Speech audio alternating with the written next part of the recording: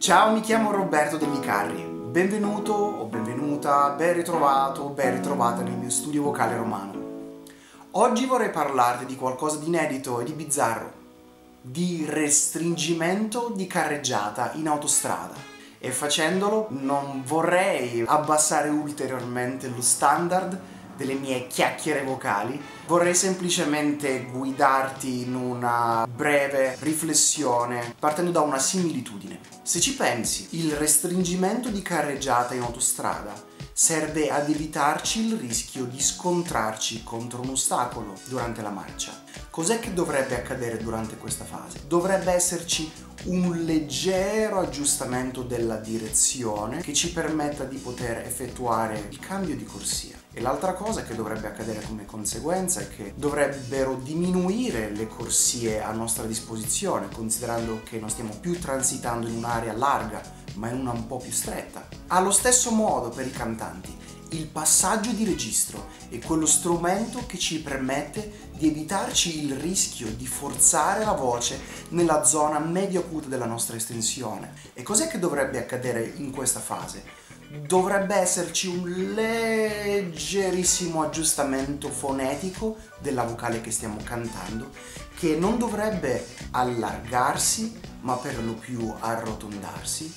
E l'altra cosa che dovrebbe accadere è che dovrebbe diminuire la quantità di registro di petto a nostra disposizione, considerando che per poter produrre frequenze più acute le nostre corde vocali dovrebbero assottigliarsi. Se il funzionamento di questo processo è vero per tutte le voci, cioè tutti quanti abbiamo un passaggio di registro e più o meno il modo di affrontare lo stesso, quello che accade invece per le voci più pesanti le voci un po' più gravi, un po' più grosse, un po' come la mia oggi che suona baritonale considerando il mal di gola. Puoi pensare a queste voci come ai mezzi pesanti in autostrada. Così come i mezzi pesanti dovranno fare attenzione al restringimento di carreggiata un po' in anticipo rispetto ai mezzi più leggeri, preparando le loro manovre di aggiustamento già quando leggeranno il cartello che li avvisa del restringimento di carreggiata. Allo stesso modo le voci più pesanti dovranno preparare un po' in anticipo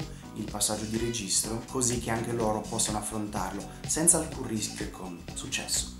Risolvere il passaggio di registro onestamente è tutta una questione di gradualità della preparazione al fenomeno, non una questione di fortuna. Puoi pensare alla stessa gradualità con cui si passa dalla fase diurna alla fase notturna, è qualcosa che avviene in maniera graduale, lenta, non improvvisa, non brusca come per esempio attivando un tasto on off in cui a un certo punto smette improvvisamente di essere giorno e comincia la notte. No, ma è la luce che si sfuma gradualmente nel buio. Ed è con la stessa gradualità con cui notiamo il fenomeno ma non ce ne accorgiamo propriamente, dovremmo passare dal registro di petto al registro di testa, sfumando l'uno nell'altro e l'altro nell'uno, così che i nostri ascoltatori non si accorgano di alcuna differenza, di alcun cambio acustico, dalle note gravi alle note più acute.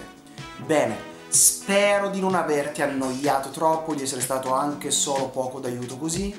Ricorda soltanto una cosa molto importante, che la citazione che io adoro che dice impara le regole come un professionista così che tu possa infrangerle come fa un artista, non vale se guidi in autostrada.